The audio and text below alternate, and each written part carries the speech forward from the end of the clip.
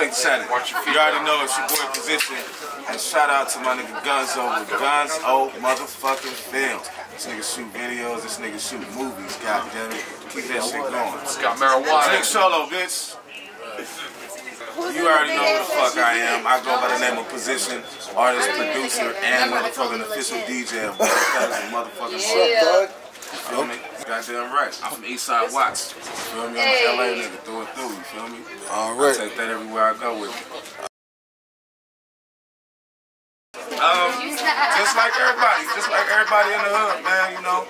You get your violence, you get your bullshit, you know, niggas grow up selling dope and all that type of shit, but it's love. It's I've been DJing for long for about 14 years now, so, you know, I had, I had a nice long journey. But before that, I was never a DJ. Uh, Wish Bone and Krayzie Bone made me a DJ, and I didn't even know I was about to be a DJ until we was on our way to Australia. And they were like, hey man, you, you know how to work this? And I was like, uh, no, I don't. And you know, I, I don't, ain't no buses going back from Australia to LA, so you know, You I was pretty much yeah, stuck. Yeah, I was stuck. I couldn't talk about it. It didn't take away. It was just more the fact I had to, I had to kind of pause the, not even pause the rap shit. I just had to literally uh, focus on my craft as a DJ a lot more. But ain't, no, ain't nothing gonna stop me from rapping, producing. I make beats every day, no matter what. Um, but if anything, this shit made me a lot more creative.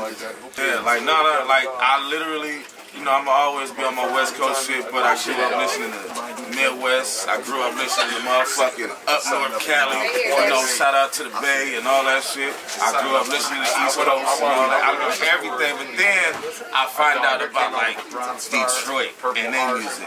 Then I find out about DC and their music to go-go and all that type of shit. You know, I get to find out all these different types of music that everybody don't necessarily get to hear. I'm gonna just, I'm gonna keep it real, keep it thou wow. I feel like there is some artists that really take it serious, but it's a lot of other artists that just look at music as a come up, as a bag. And that's where the, that shit falls off at. When you think you just gonna make money and just say anything, any little catchphrase, that's where you fall off at. Niggas be having one hit, like we call it microwave music. So, you know, that's where some of them fall, but you do got some niggas that's really about their shit and make time to work the face. See that all the time. It ain't, they don't even have to come up to me. I see a motherfucker standing next to these niggas think they whole life they gonna change. But at the end of the day, you still gotta put in work. Don't put in work, nigga.